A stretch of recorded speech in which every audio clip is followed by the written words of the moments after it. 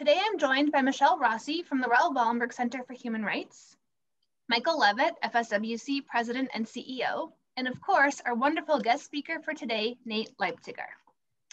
To begin, Michelle will offer some opening remarks. Michelle Rossi recently joined the Raoul Wallenberg Center as a legal and project intern, and she's also currently pursuing a civil law degree from the University of Ottawa. Throughout summer 2020, she worked at Montreal City Mission's Just Solutions Legal Clinic, specializing in refugee and humanitarian law. Prior to her legal studies, she earned a Bachelor of Arts degree from Concordia University, where she completed an undergraduate thesis exploring citizenship precarity. Her research centered on Hannah Arendt's definition of the refugee and theory of totalitarianism, namely the decline of the nation state. Welcome, Michelle. Hi, everyone. It's great to be with all of you today. I'd like to welcome you all on behalf of the Raoul Wallenberg Center for Human Rights, and I'd like to give a very special welcome to our speaker today, Nate Leipciger and his daughter, Arla Litwin. Thank you both for taking the time to join us.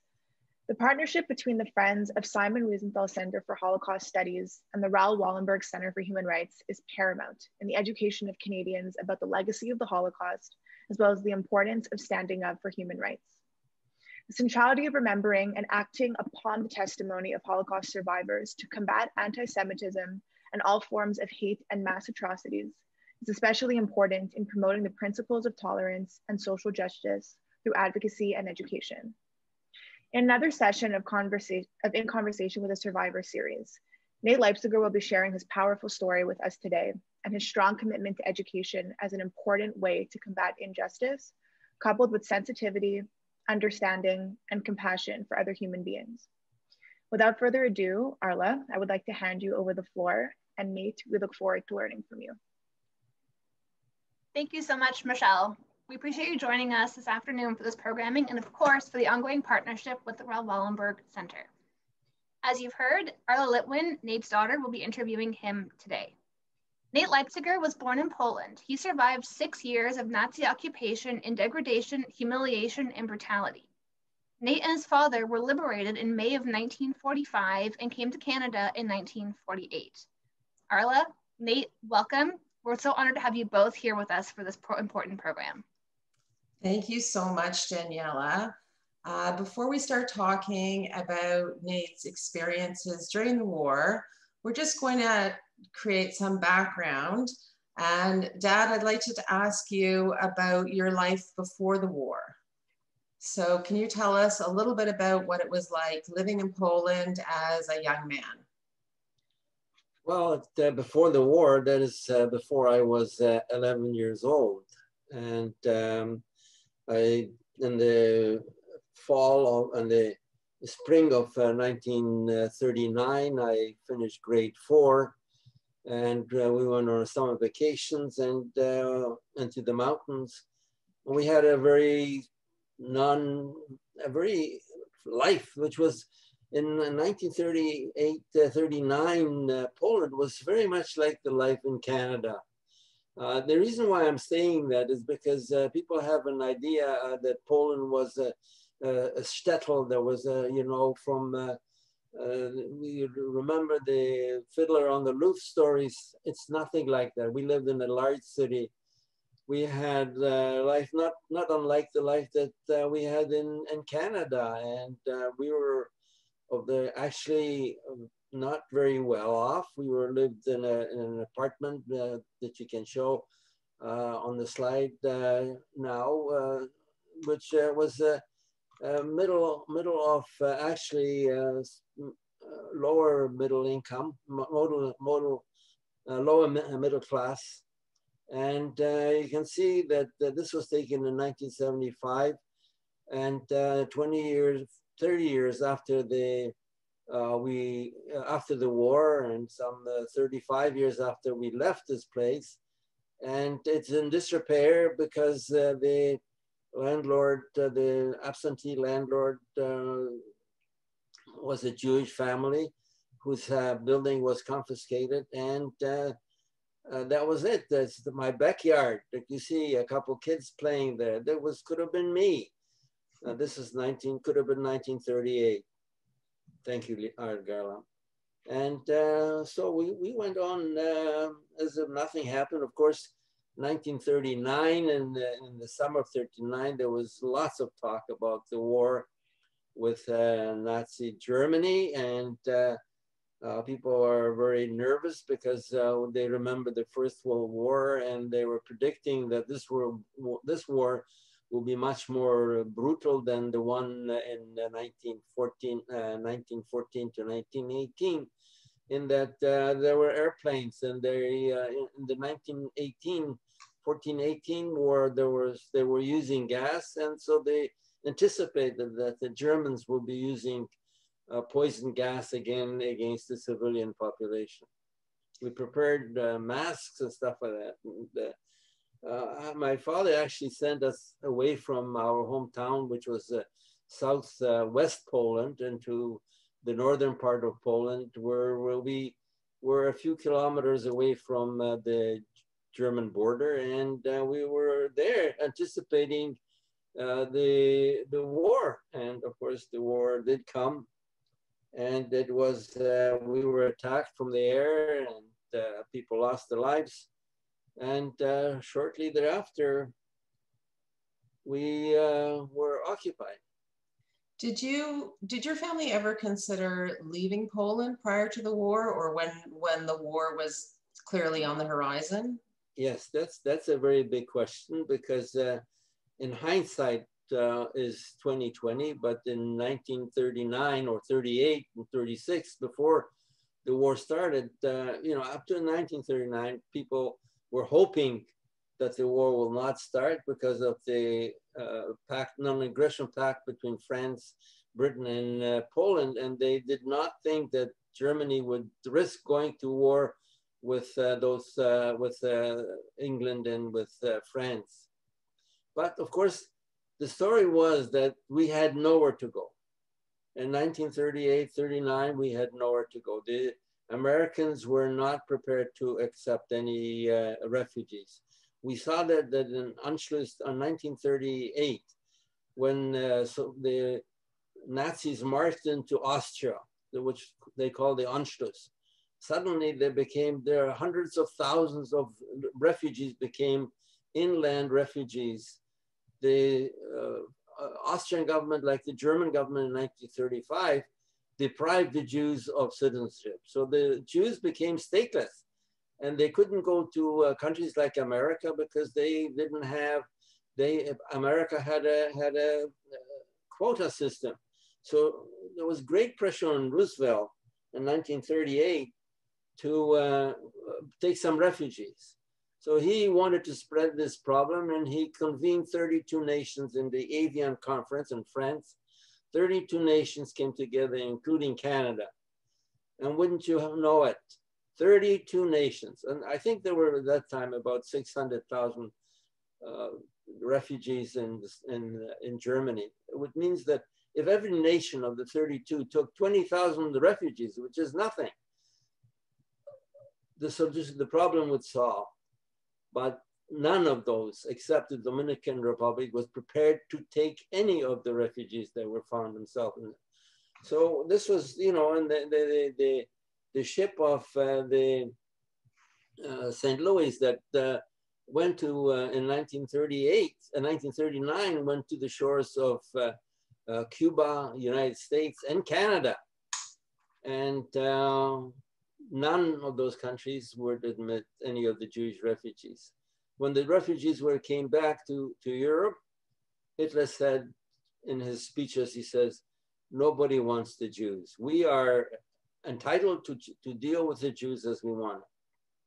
That was the, the, the, the I think that was the salvo, the beginning salvo of uh, Nazi Germany against the Jews. When, uh, when Germany, when the Nazis marched into Poland, your family had returned to Chorzów at that time, your hometown, uh, but your family was expelled from Chorzów. Can you describe where you went at that time and how your life changed? Well, the Nazi occupation was the Blitzkrieg. Another, they, they occupied all of Poland in 24 days. And uh, as soon as they, as soon as they occupied the cities, and we lived in a, a, city that was annexed, immediately annexed to Germany after they occupied it. And uh, that's the lowest, Upper Silesia. And uh, immediately uh, we were, my father was uh, shipped away to the east to work camp. He was, they were told, and all men, all capable men of, I think, 16 to 44 were shipped out of our hometown. And, uh, you know, we were devastated because suddenly uh, we lost our father. And uh, just weeks, just a couple weeks before he was shipped off, he was called to the city hall, uh, the, the Nazi city hall, and uh, he was asked to bring the keys to to the store that he was operating. And uh, uh, he, he, was told that now this is the property of the Third Reich. He cannot go in and take anything out of it. And suddenly uh, we became uh, without a father, without means of support. And only a few days later, we were ordered to uh, uh, get out of uh, out of uh, our hometown, and we moved on, on to Sosnowiec which was uh, also in the same in the Upper Silesia area, but uh, they allowed Jews to live there, whereas our hometown was uh, made uh, Jewish uh, Jew free, and uh, all the families that lived in my hometown had to leave. Of course, uh, Sosnowiec was a different situation because there was one third of the population of Sosnowiec was Jewish. Now, Sosnowiec was a, an open ghetto. So, so how is that different from other ghettos? I'm sorry? Sosnowiec was an open ghetto. Yes. So how did that differ from other ghettos that we've heard about? Yes, well, as compared to um, the large, I mean, the, there were three ghettos which were walled, and there were the first one, the largest one was Warsaw, the second one was uh, uh, Lvov or uh, Lemberg, Lvov. I'm sorry, uh, Lodz. Łódź, uh, uh, Litzmannstadt. And the third one was Krakow, which was not far from us. And uh, those, uh, those, those are the main camps that were, those uh, were the main ghettos that were actually uh, walled in and people could not leave uh, at all. we did not have that situation. We were there were no walls that, that defined our ghetto. We were in Sosnowiec after we were deported from Chorzów, actually the life became quite normal. The Nazis have not started their, uh, their persecution of the Jews as, as such. Uh, they closed all the Jewish schools. Uh, my father was asked uh, by the ghetto, the Judenälteste, the, the leader of the ghetto, to uh, volunteer to go to a labor camp. And uh, he left and uh, he actually uh, came back four months later. And he told us that the situation in the, in the, in the labor camp were, were quite uh, livable. And uh, uh, just after a few months later, he was um, asked, he came back and then he came, he was asked again by the Jewish community leader to go to volunteer to another camp. And this time there were 2,000 people. The first time there was 400. There's 2,000 2, people from Sosnowiec. And um, they were again promised that uh, everything will be, that the conditions will be the same. And description of the people that went, the 400 people that came back, most of them volunteered again because they were free to leave the camp the first time and they could go into the villages. They actually were sending parcels uh, back to Poland uh, for us, which was a great uh, boost to our, our livelihood. And so this time they went, but instead of finding an open camp as the first one, this, this, this one was operated by the SS and it had barbed wire and strict uh, and very uh, minimal amount of food. Uh, they could not leave. It was electrified fences and it was a serious concentration camp. And uh, my father stayed there for over a year. And then he made himself, he went to uh, uh, sick leave. And since they didn't have an infirmary in uh, the camp that he was, they sent them to Poland, back to, to the Sosnowiec, and he escaped from there, from that, uh, that, uh, that uh, facility. And uh, he actually was asked by the Jewish community, because he escaped, uh, the, the leader uh, of the community said, you have two choices. One is you go back and, and you, we'll catch you and you'll go back with you and your family is going to be deported, or you volunteer to become a policeman and your family will be saved. To be a policeman was not a very attractive job because it, uh, it involved controlling the Jewish population and uh, it, even at that time, the Jewish police did not have a very good reputation. So he was very reluctant and they discussed about my mother about the possibility of what what could be done, and there was no choice. It was, a, you know, a choiceless choice, and so he accepted the position. As far as I know, during the tenure, during the time that he was a policeman and the Jewish police, he had no repercussion. There were no repercussion. I didn't hear anything bad against him. So I I cannot say that he was uh, exactly a, uh, you know, uh, a typical police um, policeman in that force. And uh, life went on, and you know, we had to times where we had to go to soup kitchen because there were no food in the ghetto, and uh, we didn't have enough money to buy the ration cards that we did have.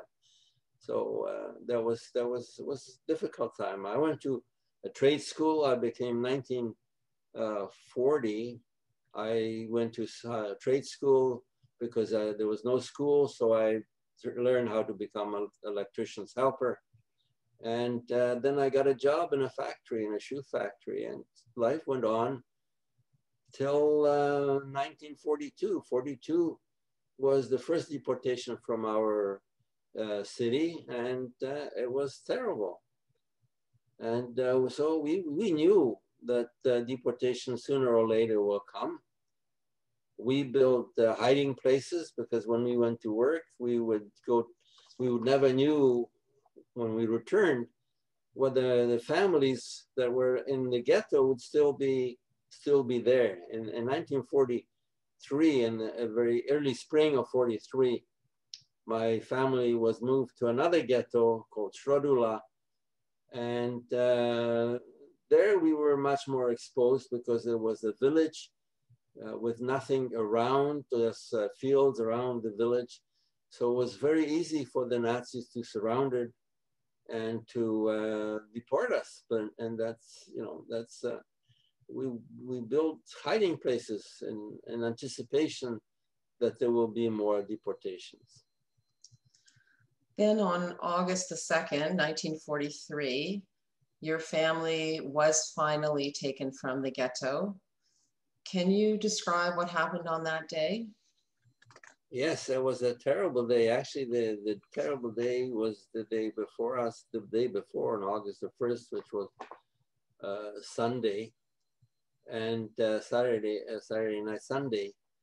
And um, we knew that there was a deportation coming and uh, we hid and unfortunately, we had two hiding places. And the first hiding place that we built by ourselves, uh, boys from the from the apartment building, and uh, we were prepared for to to spend some time in this uh, hiding places. But when we got to the first hiding place, we found that there was occupied by other people that were from a different building, and you couldn't dislodge them they they just said, "You think our life is more, your life is more valuable than ours," and so we had to leave and go to the secondary lab. And we went to the secondary hiding place, and there a woman arrived with a young, very young child, maybe three or four days old, and she wanted to be admitted.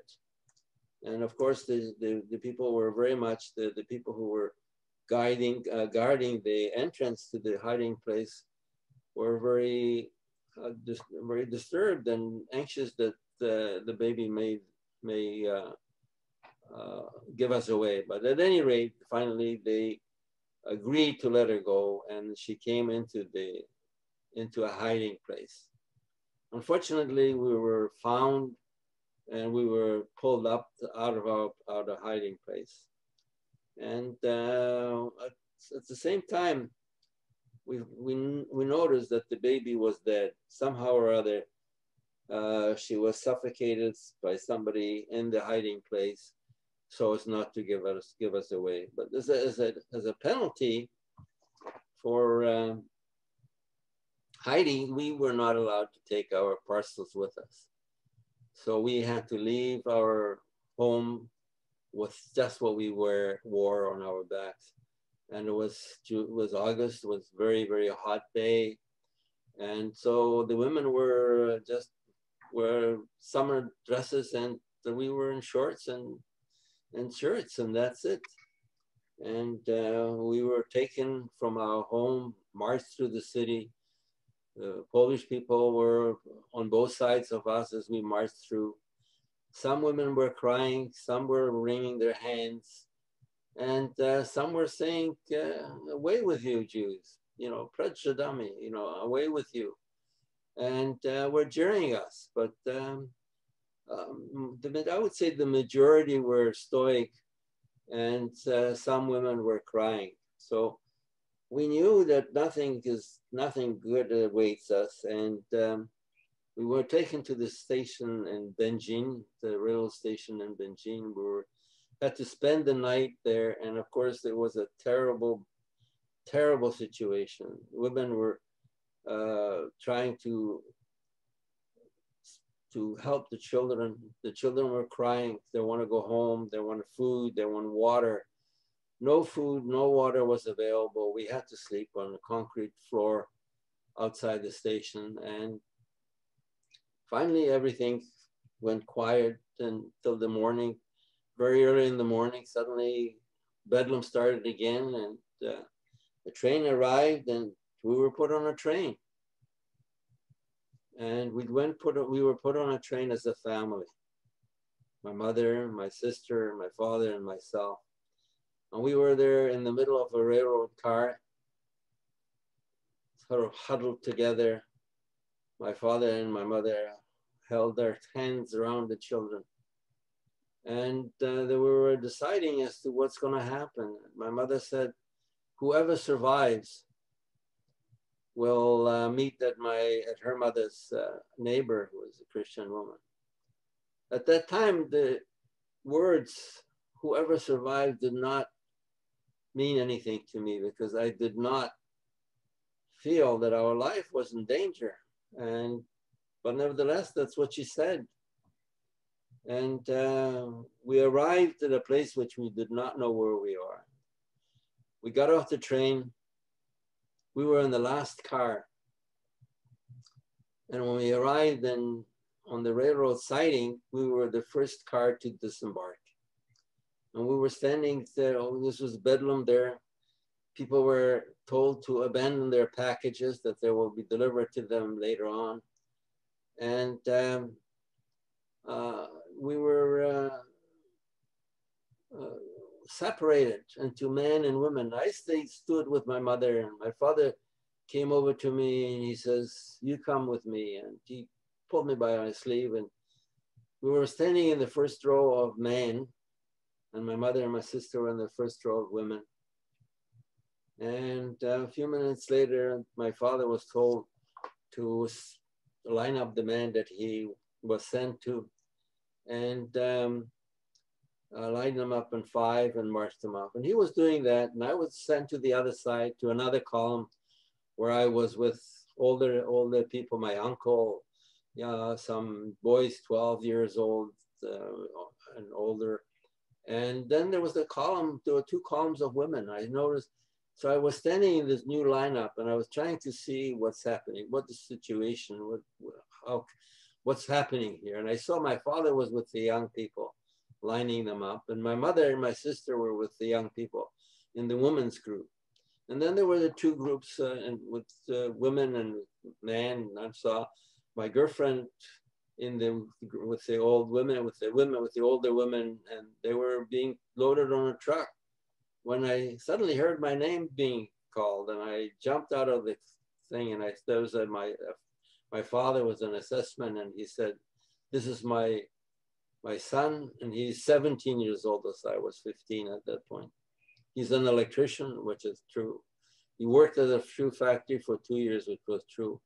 And the Nazi questioned me for a few seconds. I spoke perfect German, and he said, "Okay, take him."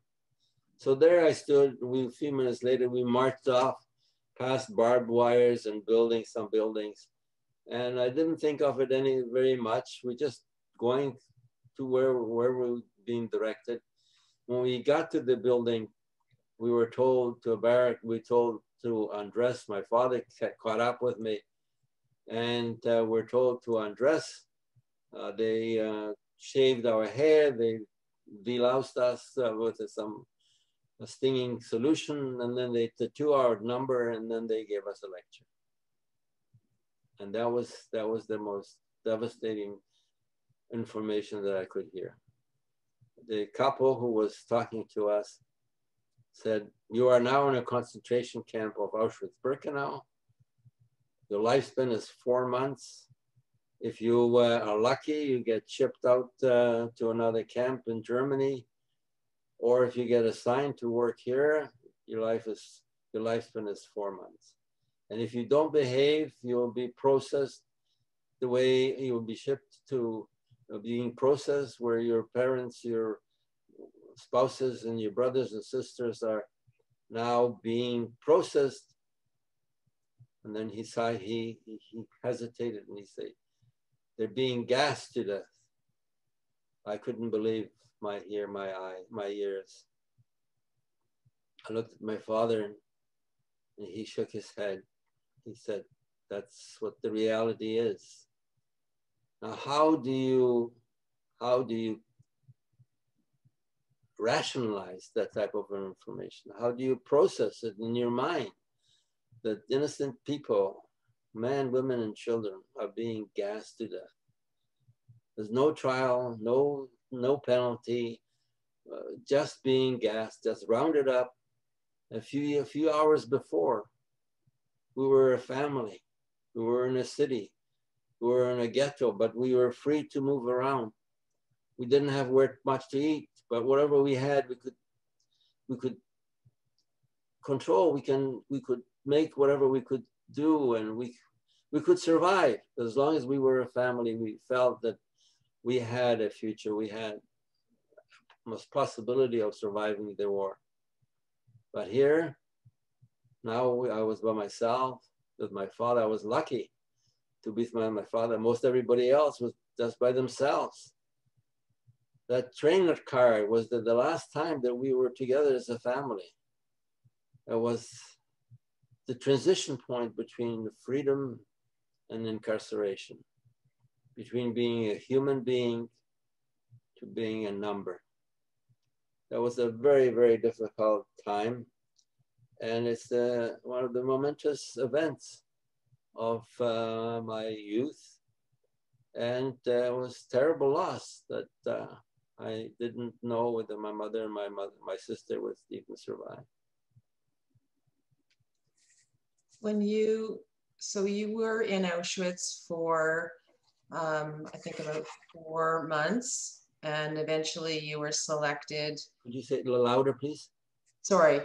So you were in Auschwitz for about four months, during which there were selections, but you managed to stay where you were until um, you were finally um, sent to a concentration camp uh, fine. I, knew I would screw that up. Fifth Fifth Um, can you tell us what life was like once you got out of Auschwitz and into the concentration camp?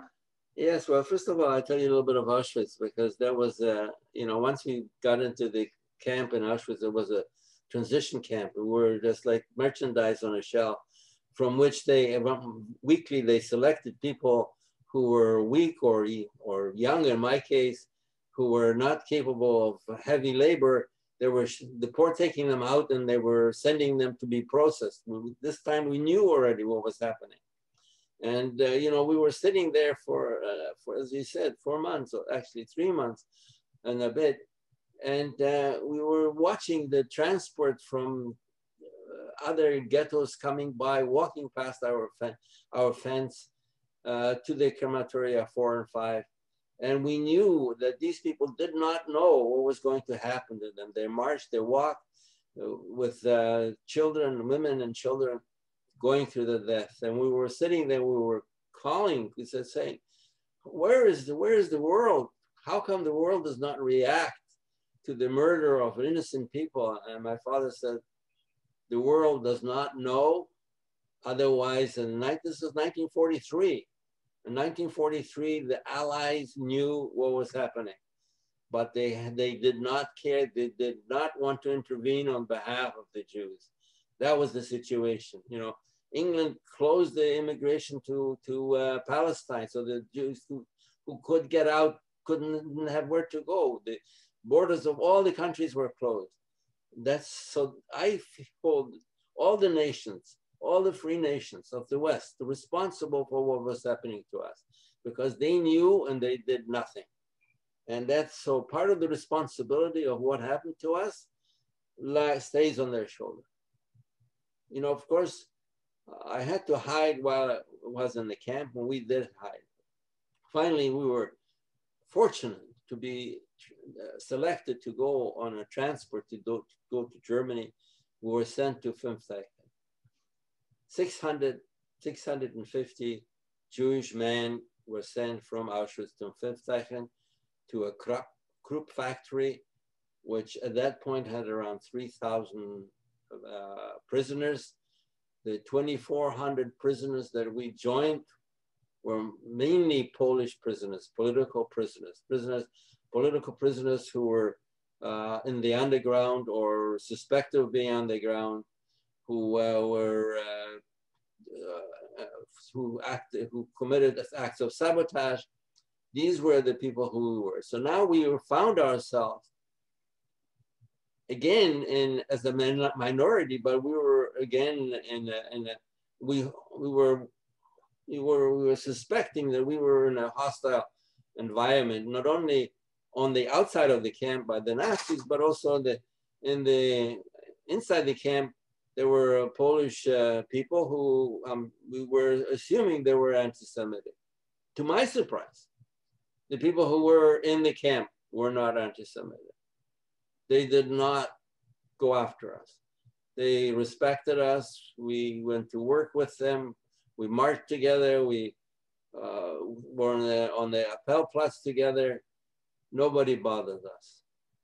I was there for you know, 16 months, and I had not, I had not detected one act of anti-Semitism or hostility from the Polish prisoners.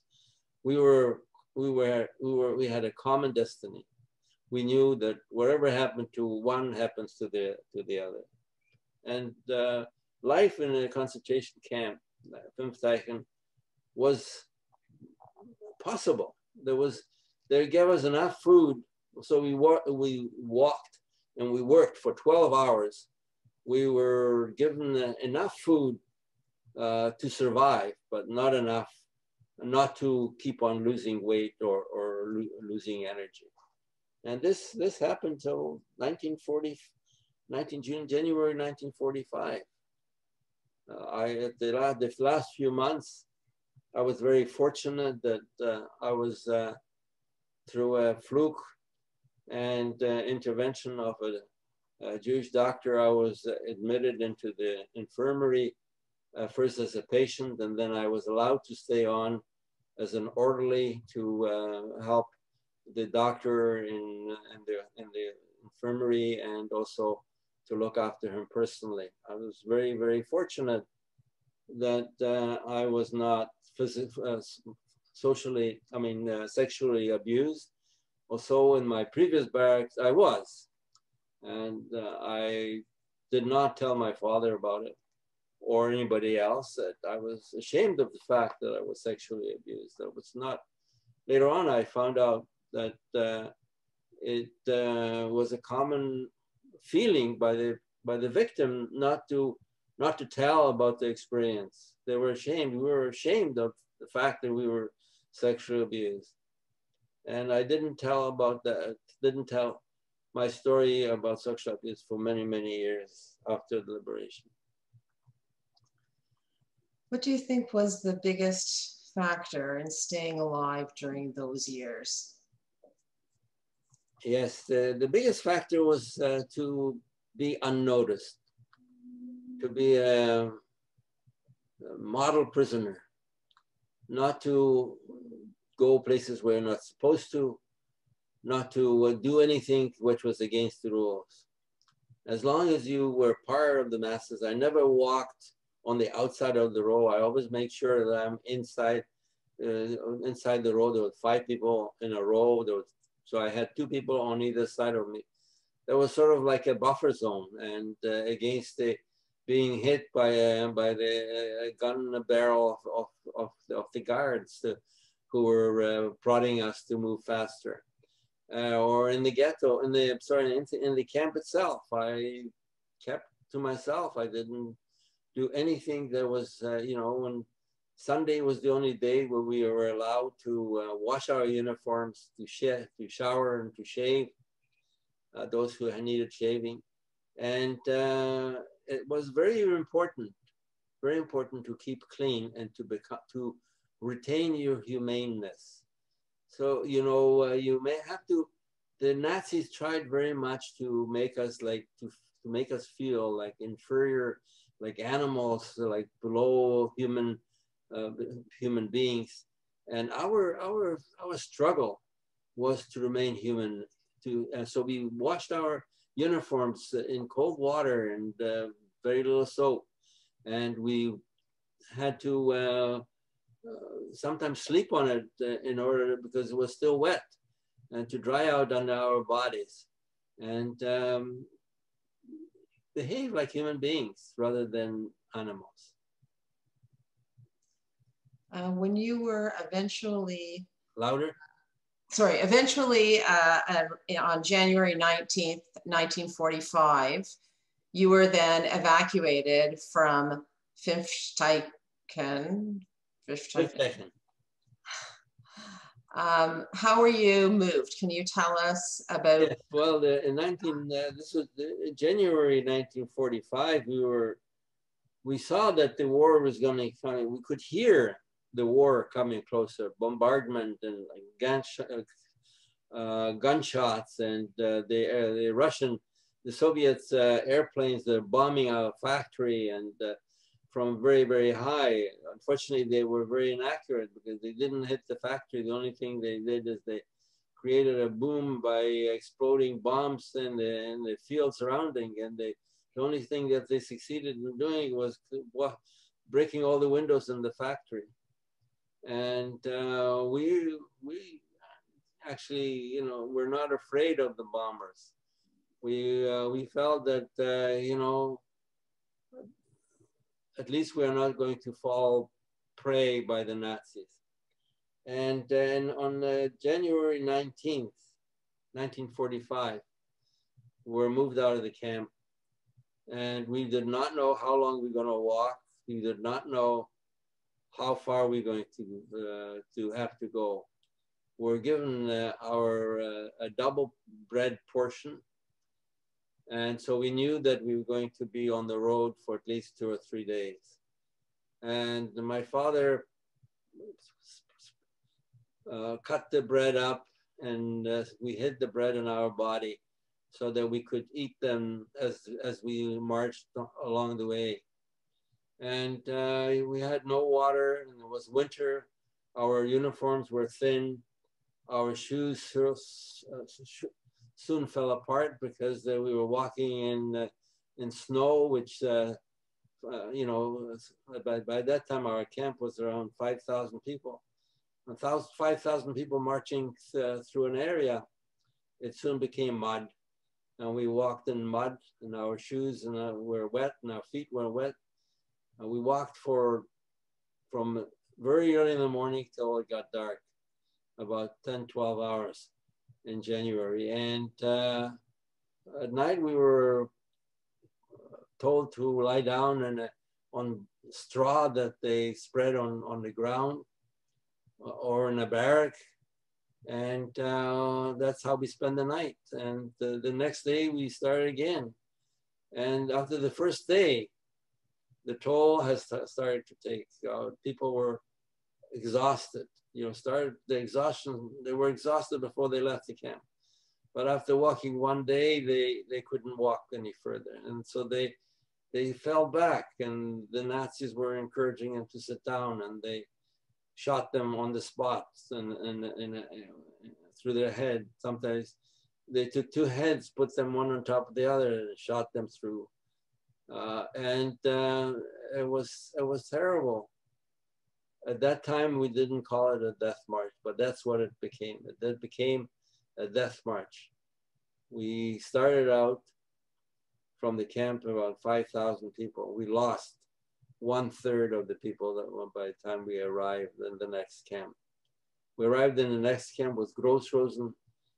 There we was terribly overcrowded. All the various camps in the in the uh, on the Polish-German border were congregated and were forced into Grossrosen.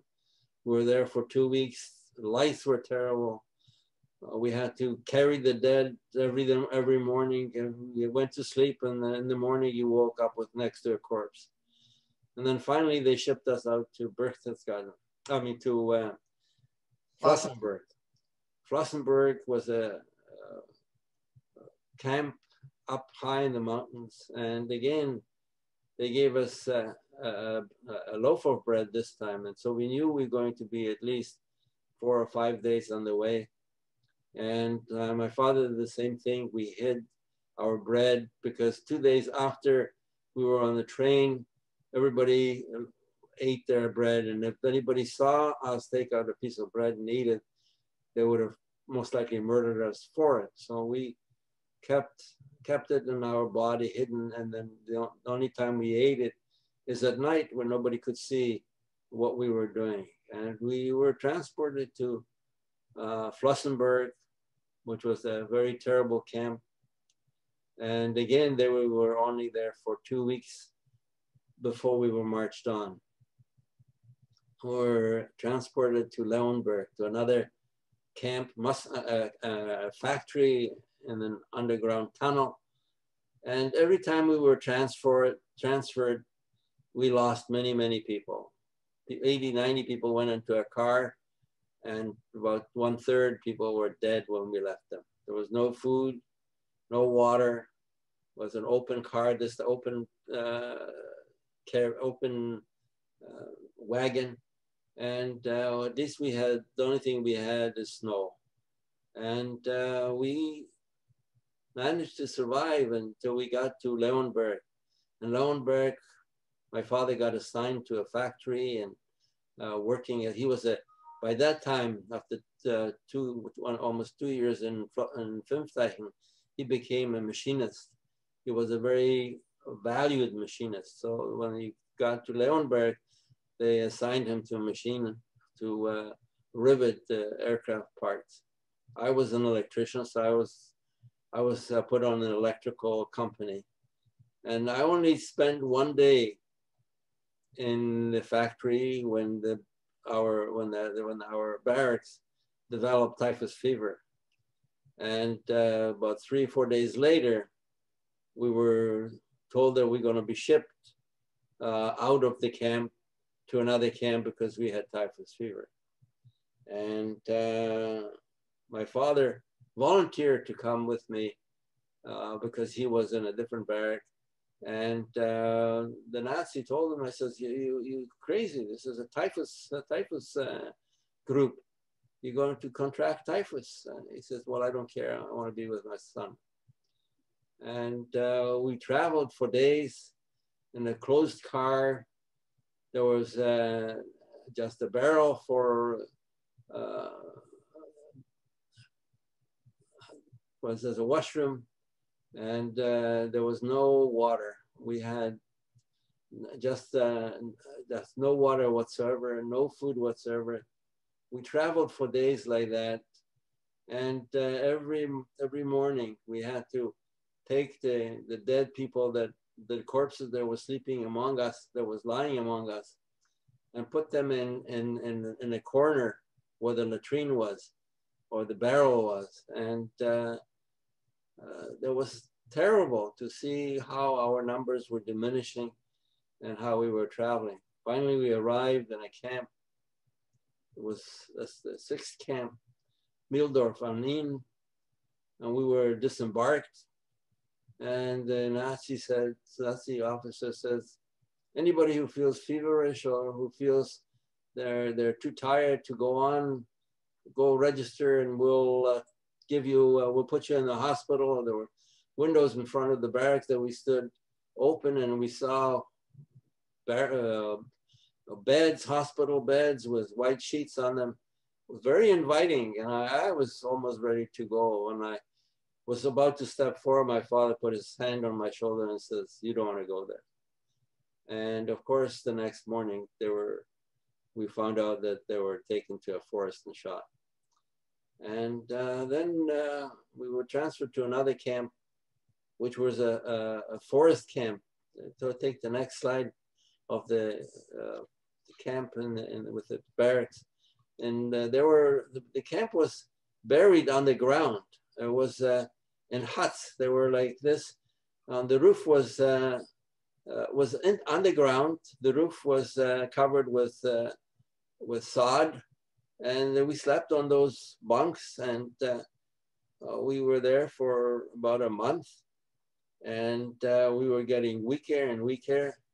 And at the end, in was the end of March, I, they were they were telling us that they're going to evacuate us, and so I said to my father, I said, I can't go on. So we tried to hide in these barracks underneath the boards. You can see the boards uh, where we slept on on the, uh, on the brick front. We tried to lift those boards to hide underneath them, but we could not find a spot where we could hide. Some people were there and already hiding, and we couldn't. So finally, I we were moving to the gate and I said to my father, you go ahead, I, am not gonna go. I'm not, I rather take my chances, whatever they're gonna do with the camp. Thank you for the slide. whatever gonna do to, with the, with the camp, I'm going to stay here and um, uh, whatever will happen, will happen. And my father says, there's no way you're gonna do that. You're coming with me. I'm not gonna give up now. So we moved towards the gate and we're sort of last to, to, to leave the camp. I saw the commandant of that camp and I went up to him and I said,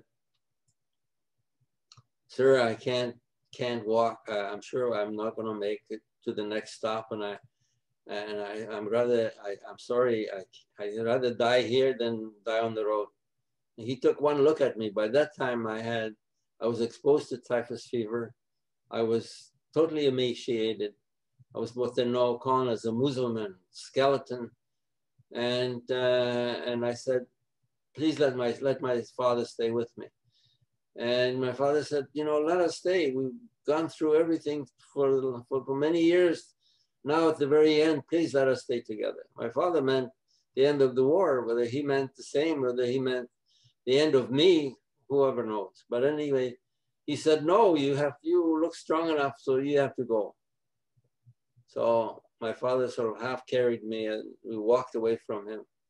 When he called us back, and with a smirk, he said, You can both stay. We didn't know what that meant, whether he meant that it doesn't matter where you where you are, your end is going to be here or there. And he let us stay. Two days later, he came into the barracks and into the infirmary where we stayed instead of in the, the underground barracks. Uh, and he uh, waved a piece of paper and says, I have orders to destroy the camp.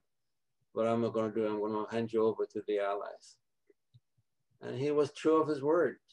On April the 2nd, well, shout came into the barracks. The Americans are here. We're free. That was liberation. What happened when the Americans came in and, and the camp was freed? What did liberation mean to you? Liberation was an empty victory because uh, by that time we realized that uh, not very many of our family would survive.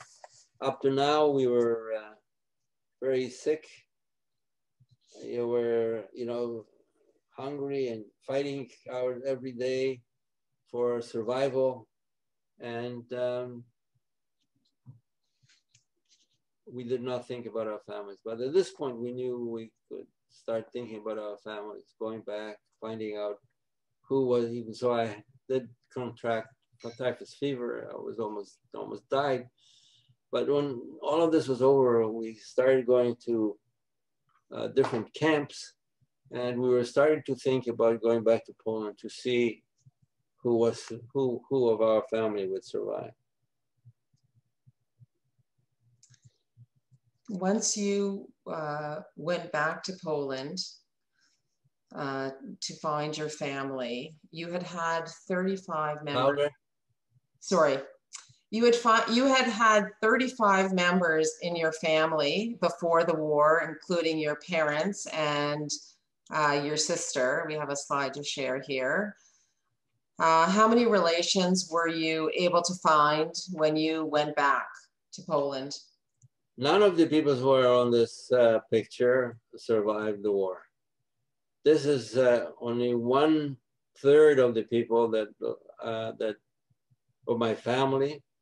Uh, these pictures were in Canada. They were shipped to my uncle, who was in Canada since 1912, and so that's the only photograph I have. Some of the pictures were given to me by my uh, sister's girlfriend when I went to Poland, and my my mother's picture, which is in the middle here with the uh, and the second second row down, third from the left.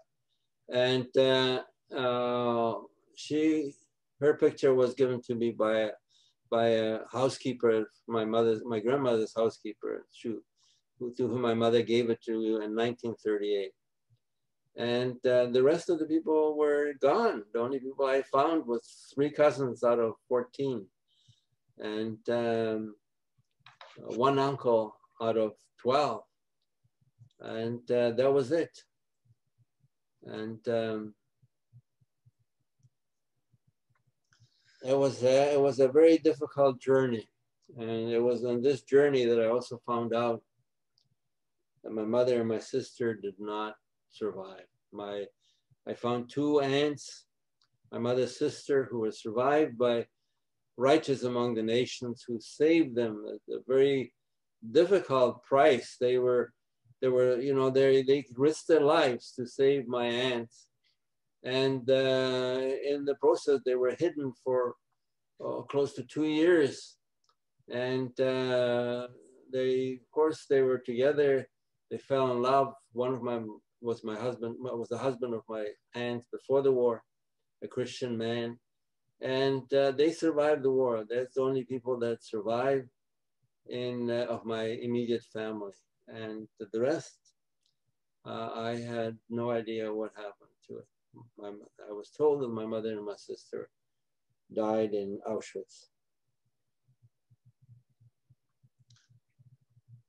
You and your father stayed, well, you had to stay in, in Europe and in Germany for, you and your father had to stay in, in Europe for some time after that, uh, waiting to try and get somewhere, trying to get to Canada. Um, in 1946, you eventually uh, were able to obtain a visa um, with much trouble. How were you able to eventually emigrate to Canada? Well, uh, after I returned, I received, I came back to Poland. Uh, from Poland, we were in Germany my father stayed in Germany. I went by myself to Poland. And uh, we tried to figure out what, we, what was our options. I came from Poland and I told them there was no way to go back to Poland. Poland was occupied by the Soviet Union and any infraction people were being sent to Siberia. uh, in uh, and there was no way to make a living. There was no family. There was no reason for us to return to Poland. We couldn't. We would not stay in Germany. The only thing that we could go do is go to Israel. Hopefully, we, in uh, Israel was not a country at that time, so there was not a possibility to go Israel. So the only possibility was Australia, South America, or or Canada, America, and, and there were very heavy quotas everywhere. So my father's brother, only surviving brother out of uh, eight siblings, he, the only surviving brother was uh, in Canada since 1912. So we tried to get to Canada. We applied in 1946, we applied for a visa, but uh, uh, we were rejected. And uh, we were rejected in, in 46 and in 47. And finally, we were allowed to come to Canada in 1948 only because uh, there was a there was a quota into uh, to for people who enter in Canada. Of course, we know about it now. It was uh, they called the, the the situation the, the policy of none is too many, and so finally in '48 we came to Canada. It was a fantastic reunion. My father hasn't seen his brother for over 20 years, and uh, he was the only member of his family that survived. Uh, was a very emotional situation in the on the in the railroad station of uh, Toronto, and my cousins, his two children, were there, and uh, you know everybody, and we cried, and they say, "Well, now you're safe. You you're here. You're starting a new life. So forget what happened. You're starting a new life." And that's what we tried to do. We tried to start a new life. My greatest desire was to uh, uh, get some education. I, I, in the camp, I realized that the people, no matter how much money they had, no matter how many, whatever the real estate they had, it didn't mean anything. The only thing that meant when you were, when the difficult time occurred was your education. You could always do something with education. So I was determined to become uh, educated. I wanted to become an electrician or an electronic uh, uh electronics engineer. And, but I had no, I had the slightest, I, I didn't think about it very seriously because I never went to school. I never had high school education. So I asked my cousin uh, the first day I was here, I said, what's the chances of me becoming, going into high school? I said, I figured I have to start in grade one in, uh, in uh, grade uh, nine or something. Uh, since I haven't gone to school since uh, grade four. So I went to Harbord, Harbord Collegiate and I got an examination right there on the spot. He wanted, my principal wanted to know how old I was. I reverted to my, uh, I made myself two years younger than I was. So in fact, I was two years older. So now I made myself to be 18 and so I was 20. And I uh, in Germany, I studied, I studied mathematics, I did trigonometry, because I wanted to become an electronics uh, person, uh, an, an, electronics technician.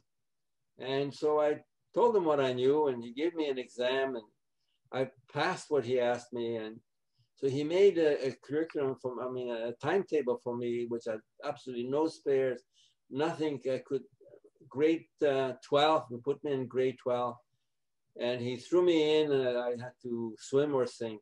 It was a very difficult. I didn't know how, uh, the, I did not know sufficient English to communicate. I had only rudimentary English that I studied in Germany, the three years that we were there. And uh, I had to, I had to swim, you know, and it was a difficult time. The difficult time, the, the, the most difficult part was that I was by myself. I had like a thumb. I had no one to speak to. The kids that I was with were 16 years, 17 years old. In grade four, they were 16 years old. And uh, grade three, which I had to take some classes, they were 15 years old. I had nothing in common. I was 20 years old. I had uh, experienced the world. What could I tell them? I couldn't even, I didn't even have the facility to tell them what I, what I suffered. I didn't have the facility to tell them what type of life I lived in Germany. All I could do is say hello and, you know, and uh, speak about the daily day as to how are you and etc. etc. I didn't uh, couldn't go on a date because I didn't I couldn't even communicate with a date if I if I took one out. So I was very much by myself, which helped me in a way because I had no friends. I went to I lived with my uncle. My father agreed to, to, to let me go to school. He he worked, and I studied every day from eight o'clock in the morning till midnight. Either I was in school or I was studying uh, various subjects that I needed to, to do in, at uh, my uncle's house. And I devoted six days a week to that. The only day that I took off, Friday after, after supper, I went to a movie, to an English speaking movie, a cowboy movie, where the language was uh, sufficiently simple that I could understand what was happening. And that's how I learned English. Slowly, slowly, slowly, I learned English. I, I was surprised myself that I made grade 12 and grade 13 in two years. And in 1950, I graduated from high school, almost. I had one subject missing, but I, I was admitted to university because I had this, I wrote the English exam outside of the high school. And I went into, into and I didn't know what to, I wanted to go into engineering. But my, my friends, my, my family said, you can't go into engineering. You uh, are not going to uh, be able to make a living. There's anti-Semitism. People are, don't hiring Jews as uh, technicians. So I said, so what I should do? He said, well, go into dentistry. So I said, okay, I'll apply for dentistry. So I applied for dentistry. And I had good marks from grade 13, which I was surprised myself. And of course, uh, I wasn't admitted to dental school. And uh, the, the, but the dean of, of the dentistry told me to uh, um, go into honor science. And if uh, after four years honor science, I could then apply to go into dentistry. I really wanted to go into dentistry. So that's how I ended up in uh, honor science. After one year, I realized that that's not what I wanted to do. I switched uh, into engineering, which is a big story again. I describe it all very in detail in, in my book, uh, which is I still available. And uh, I see we are getting very close to the end and we have many questions left. That, we do. So uh, I'm going to skip ahead and just ask you one more question, which I know people are going to want to hear about because we really are out of time. Um, so uh, you did go to university, you got an engineering degree, you had a career in engineering, and um, your uh, charity and uh, volunteer work has been so substantial over the years, going on the March of the Living 19 times. We want to talk about March of the Living, but we're going to move on to that because the one question I do want to ask that I think want people will want to hear, and I know that you have stated that this was one of the most pivotal moments in your life, was that in June of 2016 when you accompanied Prime Minister Justin Trudeau to Poland and gave him a tour of Auschwitz-Birkenau. Why did you say that this was such a pivotal moment in your life? And can you tell us quickly what the impact of this trip was? Yes, yes, I will be very very, very short. You, can, you know that in 1940, in 1930, in 1943, I was standing before the gas chamber of 19 of the Auschwitz-Birkenau. I went through hell to get into Canada. We went, I went through un, a terrible situation to, to get an education. I finally got an education. I was very happy that I could establish a family. I was I was delirious from happiness that I had a wonderful family at this point. And uh, I worked in the community. I was uh, going on the March of the Living. I educated hundreds and hundreds and thousands of people uh, through to, to what it, what the show was about because I had this I had this desire or at least had this need to be this mission to tell the world what the six million people who did not make it what we went through. That was a mission which was burning in my heart, which I could not satisfy unless I was actively involved in Holocaust education through all the many years that I was in Canada. This was in 1948, and this is the 2016. 70 years later. And uh, I finally, suddenly I got this opportunity by the chair of the, uh, the leader of the March of the Living, the Canadian leader of Canadian, uh, Eddie Rubinstein. He recommended that I be asked to go by the Prime Minister, recommended to the Prime Minister that I be asked to go to with him on the march.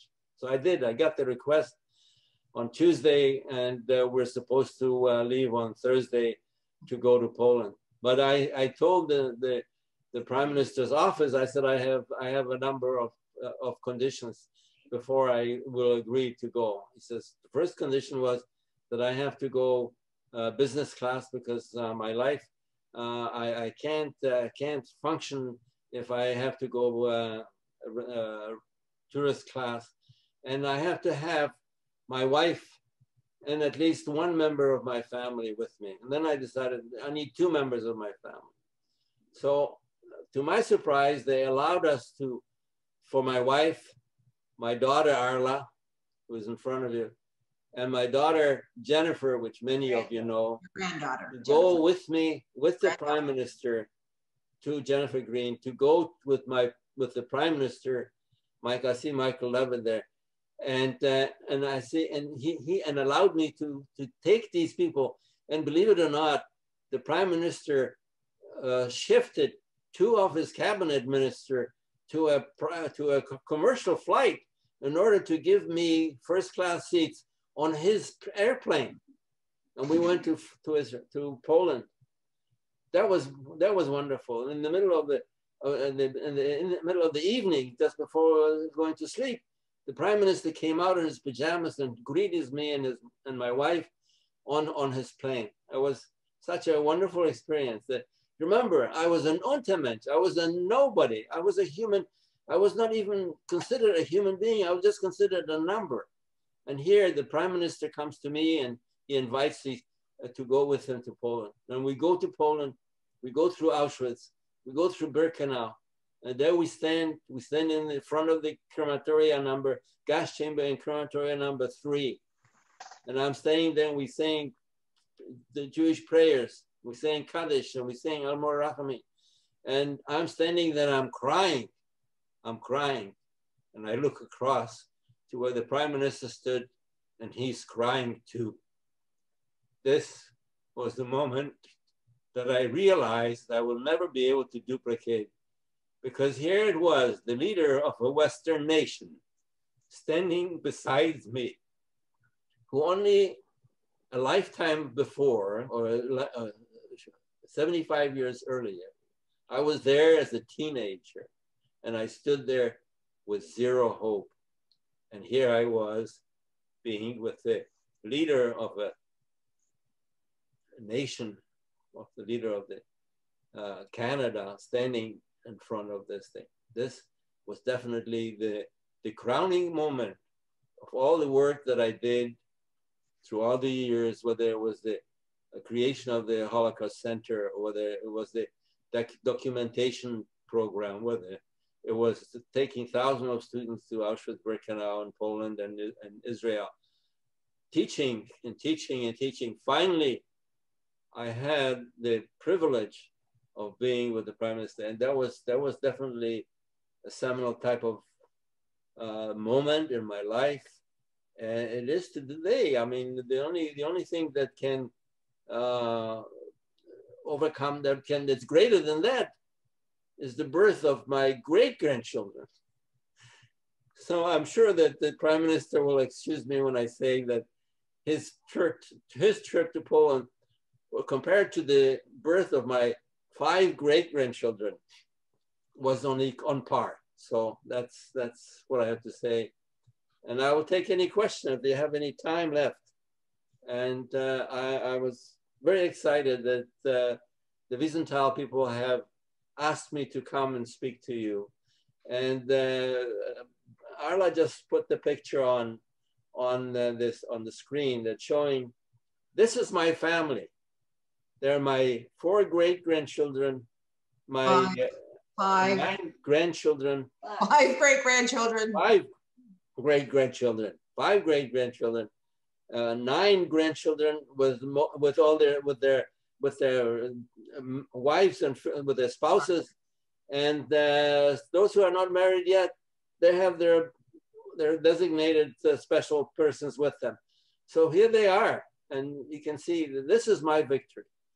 This is my victory over over the Hitler, uh, over the Nazis, over Hitler, and uh, it is it is the, the, the only final message that I have to tell you is the question is why do I go on talking about the Holocaust? I mean, the world knows about it. Well, why isn't it I'm talking about it? It's all history. But that's the point. It is history. And we must make sure that it gets into the annals of the history, that people do not consider it, that they know that that's history.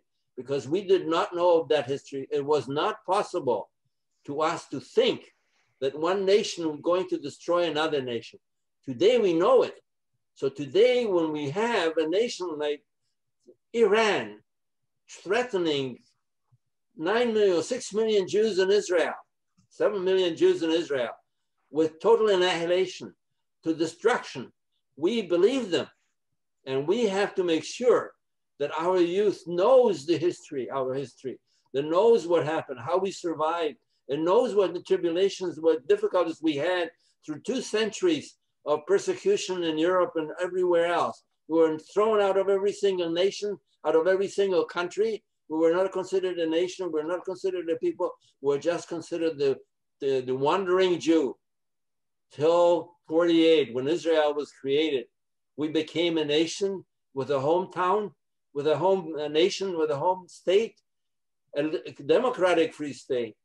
And this is, uh, my dear friends, this is what we have to remember that we have no other home, just Israel. And if we are thrown out, like we were, you know, we were, were threatened with uh, pogroms in, in Germany and France and even massacres in the United States and in Canada and, and all over the world, in, in Brazil, in uh, Turkey, Everywhere Jews were being murdered. The only place safe haven is in Israel. And that, my dear friends, is also not very safe because we still have to fight. We have to fight for the existence of a state of Israel every, as we did a few weeks ago when Hamas attacked Israel with 4,300 missiles. 4,300 missiles directed at innocent civilians in the state of Israel. The only Jewish state was attacked by Hamas, a religious order, a, a, an Arab nation that is pledged to destroy the Jewish nation and to drive us into the sea. This, my dear friends, is why I'm talking to you, because history does repeat itself, as we see, and we are a minority. And when I talk about the Holocaust and what happened to us, I'm talking about the minorities which we have in Canada. A few days ago, there were a Muslim family that was murdered because there were others by, by supremacists. They were murdered on the streets in London, England, in London, Canada. There were people that are being murdered and Asian people being attacked in the streets of Canada. There are indigenous people that are being accused of causing all this or that.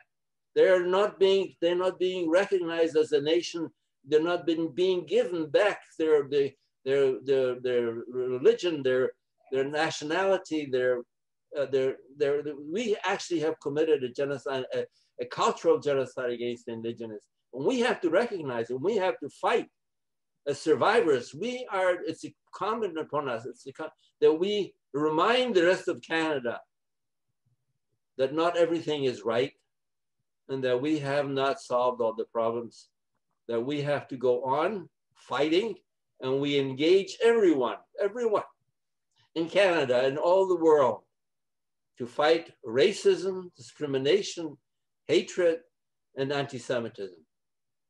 And that is my reason why I'm talking to you today. Why I'm going to go on talking. I'm going to go on another March of the Living, like my health required. And I'm going to take some children with my grandchildren with me.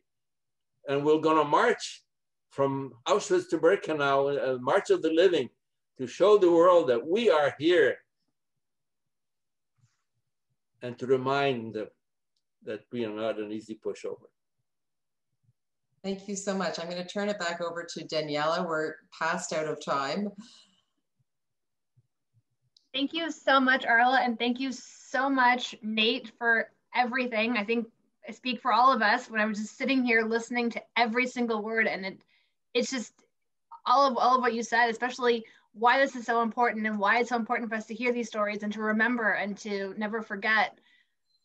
I couldn't have said it better. Um, I know Michael, our president CEO, is here. I know, as Nate pointed out, I know he knows you well and was instrumental in organizing the trip with the prime minister. So, Michael, would you like to say a couple of words as well?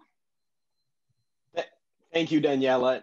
Nate, that was you're you're such an inspiration. You, you always are. So it should be no surprise that you would be today. But really, um, your strength uh, and uh, just your resolve to always look to make things better, to make sure that as a community we are strong, as a people that we are strong. Uh, again, it's inspirational. Arla, thank you so much for uh, for for uh, asking the questions and, and guiding the conversation. Um, you know, Nate, I, I, I still remember two or three days before you took off in that plane to to uh, to Poland um, I was in Israel and I called you and uh, we had a discussion about the trip and what it was going to look like. And I, I, don't think anybody could have imagined that it would be quite as powerful a moment as it was. And, and if Arla hadn't asked you, quite honestly, I was going to ask you about your reflections. Um, and uh, when I spoke to you and you came back, you, you, you gave a very similar description to that moment of standing there and you said to me, Hitler lost. That was the moment that I could say, look where I am now. Look, you you didn't destroy me, you didn't destroy my family. We're here and we're playing a meaningful role. And and I think the power of that one moment, Nate, um, is something that again just speaks to who you are and your strength all these years later you you you haven't skipped a beat man you you just keep going and it is it is so so important that we have your voice. Uh, so thank you to you to Arla for uh, for for bringing that voice with us here today. And I don't think there's anybody that minded going overtime to to hear you. Um, I also want to recognize uh, that we've got a number of former participants in our uh, in conversation speaker series that are with us today. Ron Shimizu, uh, Claire Baum, Pinchas Gutter, uh, and Andy Réti, um, and also Eva Meisels, who does a lot of work with, with Wiesenthal, is, uh, is, is on with us this afternoon. This speaker series, and, and Nate, you're the, the, the closing one for this season, has been a fantastic opportunity for us to partner with uh, the Raoul Wallenberg Center uh, for Human Rights, Irwin Cotler's uh, Center in Montreal, uh, and we've not just spoken to Holocaust survivors, we've not just heard the testimony from Holocaust survivors, but also survivors. You talked about the um, plight of Indigenous peoples in Canada, and we have uh, also heard from a survivor from the Indigenous uh, residential school system. We've also heard from, uh, and it's run from a, from a, a survivor from the Japanese, uh, from the internment camps in Western Canada.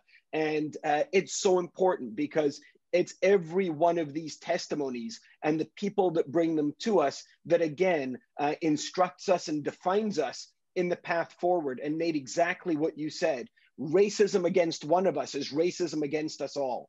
And it's when we reflect back on these stories, you know, we say, well, it can never happen again. But you know what? Then it does. Um, it happens again and again and again.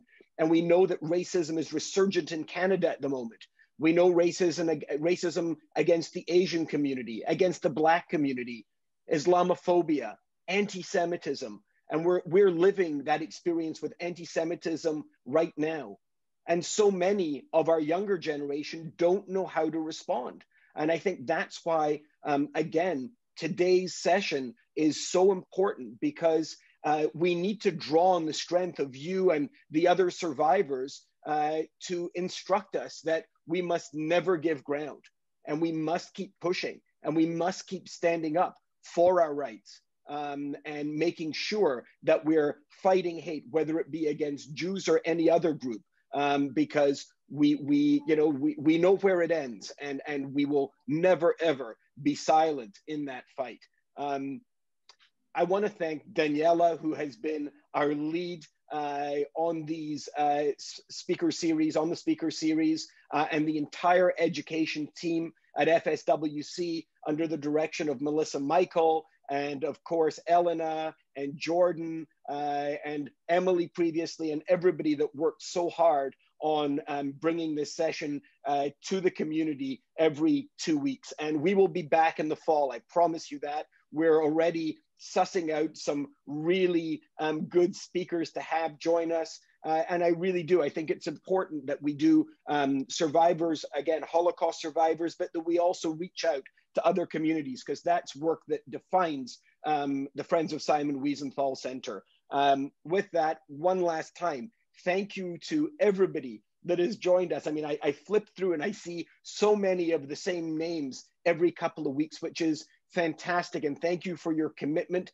to Friends of Simon Wiesenthal Center, but to the people that haven't been on here before and got to hear Nate Leipciger and Arla um, presenting Nate's testimony. Um, I hope that you're going to bookmark this for, hey, Pinchas, I hope that you're going to bookmark this and, and, and make sure that you join us in the fall when we will have a new series and we will continue working with the Raoul Wallenberg Center to bring you um, testimonies and stories that are just so powerful. So, with that, I want to wish you all um, a safe and a healthy and a happy summer. And uh, we'll see you back in September. Thank you so much. Back to you, Daniela. Thank you, Michael. Thank you, everybody else. Have a wonderful summer. As you heard, we are working behind the scenes. We'll see you all in September.